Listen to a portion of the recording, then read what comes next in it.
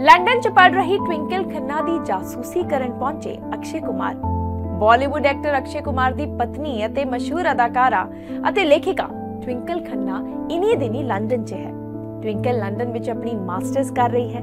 ਅਜਿਹੇ 'ਚ ਅਕਸ਼ੇ ਕੁਮਾਰ ਟਵਿੰਕਲ ਨੂੰ ਮਿਲਣ ਲਈ ਉਸ ਦੀ ਯੂਨੀਵਰਸਿਟੀ ਪਹੁੰਚਦੇ ਹਨ। ਇਸ ਦੌਰਾਨ ਟਵਿੰਕਲ ਨੇ ਇੱਕ ਵੀਡੀਓ ਪੋਸਟ ਕੀਤਾ ਹੈ।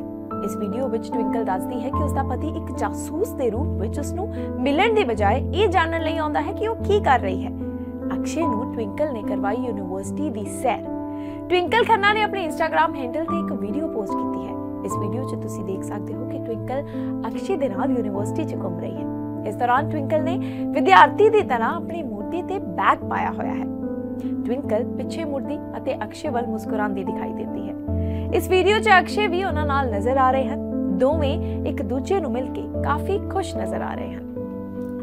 ਟਵਿੰਕਲ ਲਿਖਦੀ ਹੈ ਕਿ ਮੈਂ ਇੱਕ ਸ਼ਰਾਰਤੀ ਬੱਚਿਆਂ ਵਾਂਗ ਬਿਹੇਵ ਕਰ ਰਹੀ ਹਾਂ। ਇਸ ਵੀਡੀਓ ਦੇ ਨਾਲ ਟਵਿੰਕਲ ਖੰਨਾ ਨੇ ਇੱਕ ਲੰਬਾ ਕੈਪਸ਼ਨ ਲਿਖ ਕੇ ਆਪਣੀ ਭਾਵਨਾਵਾਂ ਸਾਂਝੀਆਂ ਕੀਤੀਆਂ ਹਨ। ਉਸਨੇ ਲਿਖਿਆ ਕਿ ਇੱਕ ਵੱਡੀ ਉਮਰ ਦੇ ਵਿਦਿਆਰਥੀ ਹੋਣ ਦੇ ਨਾਤੇ ਮਾਸਟਰ ਦੀ ਪੜ੍ਹਾਈ ਪੂਰੀ ਕਰਨ ਲਈ ਯੂਨੀਵਰਸਿਟੀ ਜਾ ਕੇ ਕਿਵੇਂ ਮਹਿਸੂਸ ਹੁੰਦਾ ਹੈ?